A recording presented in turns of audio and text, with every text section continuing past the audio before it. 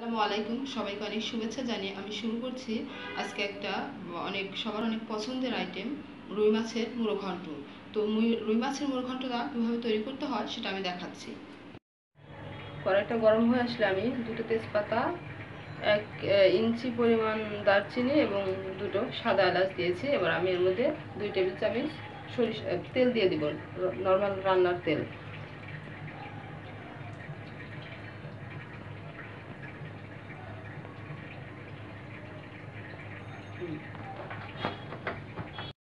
দিয়ে দিচ্ছি তিন চারটা খালি করে রাখা কাঁচামরিচ, আর দিয়ে দিচ্ছি এক কাপ পেঁয়াজ কুচি, একদম মিহি করে কাটা কুচি, এক কাপ। দিয়ে এটাকে আমি লাল লাল করা পর্যন্ত ভাজবো। এবার পেঁয়াজটা আমার লাল লাল হয়ে গিয়েছে। এখন আমি এর মধ্যে এক চা চামচ দিব আদা বাটা আর খুবই সামান্য একটু রসুন বাটা, একদম তিন আঙ্গুলের এক চিমটি পরিমাণ রসুন বাটা পড়বে। আদা বাটাটা এক চা চামচ। দিয়ে এটা একটু নাড়াচাড়া করব। যখন এটার গন্ধটা চলে যাবে, তখন আমি অন্য অন্য মশলাগুলো দেবো। এই সাইডে একটু দিয়ে দিচ্ছি আস্তা জিরা। দিয়ে একটু নাড়াচাড়া করে এখন আমি বাকি মশলাগুলো দিয়ে দেবো। দিব এক চা চামচ মরিচের গুঁড়ো। এই সময় জালটা একটু কমিয়ে নিতে হবে। হাফ চা চামচ হলুদের গুঁড়ো। আর হাফ চা চামচ জিরার গুঁড়ো আর হাফ চা চামচ ধনিয়ার গুঁড়ো। আর দিয়ে দেব পরিমাণ মতো লবণ। লাগলে আমি পরে দিব আবার। দিয়ে জালটা আবার একটু বাড়িয়ে দিয়ে সামান্য একটু পানি দিয়ে মশলাটাকে আমি কষিয়ে নেব।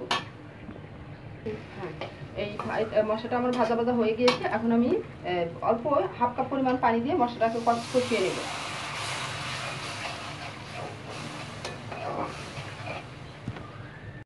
মশলা কষানো হয়ে গিয়েছে।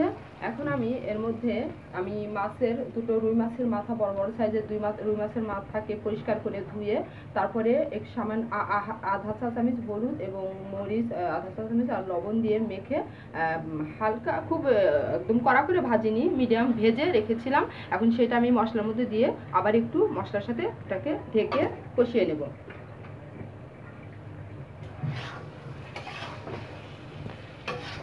এটা- এটাকে এভাবে আমি কষাবো, আর ঢেকে কষাবো। আমি এর মধ্যে দুই দুই চুল পরিমাণ পানি দেবো এবং ঢেকে কষাবো।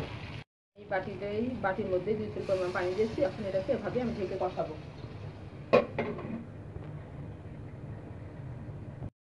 আমার মাছগুলো এখন কষা হয়ে গিয়েছে, এখন আমি মাছের মধ্যে ওই মুগের ডাল ছেড়ে দেবো। মুগের ডালটাকে আমি সুন্দর করে বেছে নিয়েছিলাম, বেছে তারপরে সেটাকে আমি ভেজে নিয়েছি, মিডিয়াম আছে পাঁচ মিনিট ধরে ভেজে নিয়েছি, ভেজে তারপরে আমি ধুয়ে তারপরে পানির মধ্যে ভিজিয়ে রেখেছি। তো সেই ডালটা, পানি সোপ করে নিয়েছি অবশ্য, সেই সেই ডালটা এবার আমি এর মধ্যে ছেড়ে দেবো।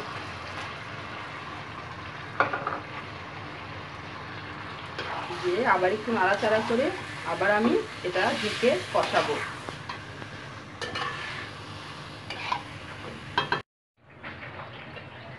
তো আমার মাছটা কষানো হয়ে গেছে। আমার ডাল ছিল দুই কাপ আর মাথাও ছিল বড় বড় সাইজের দুটো।